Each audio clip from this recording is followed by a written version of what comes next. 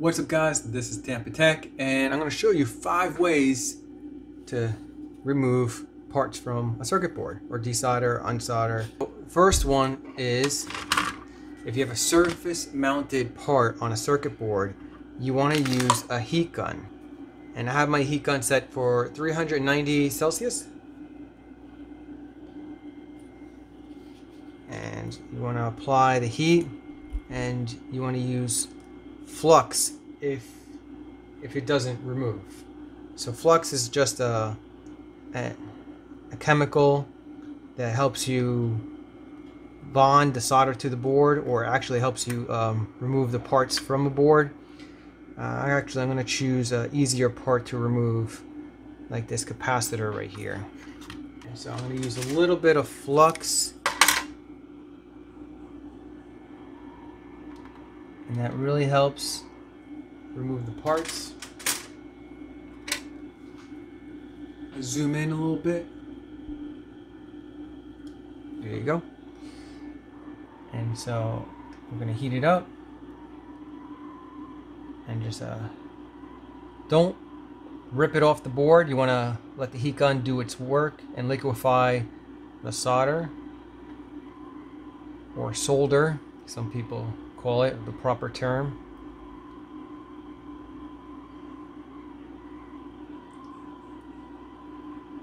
And this is a game of patience.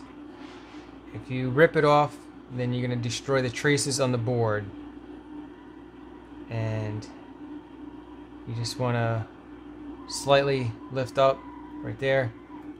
And that's how you remove it. See? You can do that, you just collect parts. This is a test board. This is actually a bad circuit board I replaced, a TV board.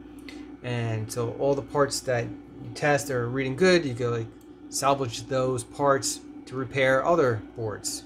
But what happens if you have a power supply board like this one that it isn't double-sided board and the parts are not surface mounted? Well, these are, but these aren't. So I'm going to show you that way. Now I'm using a Vivo Home soldering station. This model is 898D and it has a rework station which is here's the heat gun. Turns on when you remove it from the dock and uh, temperature is adjustable. And it also comes with a soldering iron which you can adjust the temperature. I highly suggest getting a soldering iron that you can adjust the temperature so I have my heat gun set for, I believe, 390 and my soldering iron set for 380 Celsius. Which I believe it's around, if I'm not mistaken, around 750 Fahrenheit. And so to remove this capacitor, you want to free it from the board. There's glue right here. And you just pry it off, wiggle it off.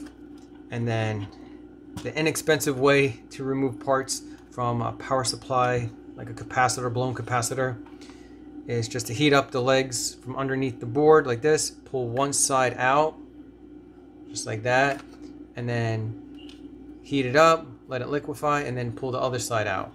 That is the inexpensive way to remove a capacitor. All right. Now, the next method it's not really my favorite method, but it works. And here's another capacitor. I'm showing capacitors because they're most common to go bad in power supply. Alright, so right here, here's the capacitor on this side. And you can do it this way. Now, this way is safer on the traces. If you pull out the capacitor and it's not properly heated, you can rip off the traces or the solder pads which is not good. So it's a little bit safer to do this method, but you can still overheat the board and the solder pads can get damaged and separate from the board. You don't want that. So this right here is called a desoldering wire and it's basically just a braid, copper braid with flux in it. It's a chemical agent that absorbs the solder helps absorb the solder into the braid. And then you just want to apply right there and lay it on top of the solder joint and then heat it up. And then just pull and let it soak in. Let the solder soak into the braid.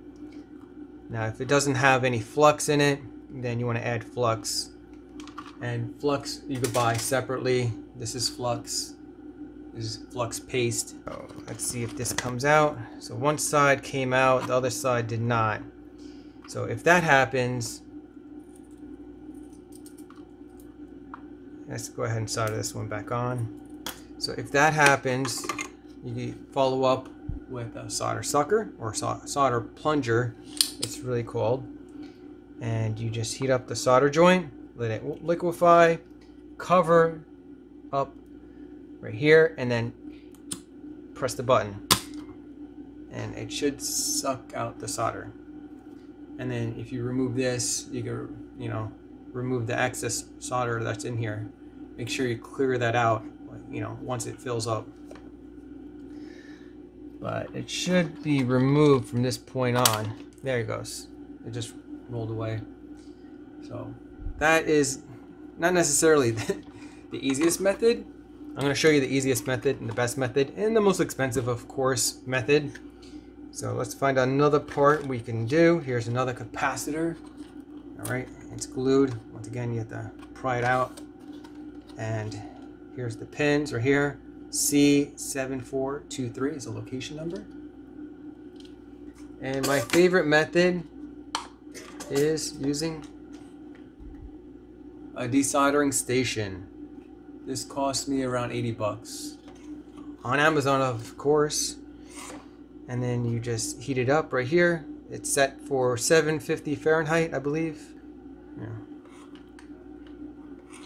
So you want to go ahead and cover up the solder joint and then twist and then press the trigger. And then now that is done and then do it again. Cover up the solder joint, twist, and press the trigger. And then remove. And then remove the cap. That is the fastest, easiest method using a desoldering station. And that link will be in the video description too, as well. These are affiliate links, just to give you a heads up. And later on, you want to, of course, maintenance the desoldering gun. And you shove this wire through right here and clear out any solder that could be clogged in there. And then you remove this container over a garbage can and clean that out as well. So there is maintenance involved with this desoldering station. So guys, if this helped you out, give me a big thumbs up and check out my other tech videos in the video description below. If you know anyone that this video will help, go ahead and click on the share button below and share this video to them. Thanks guys for watching.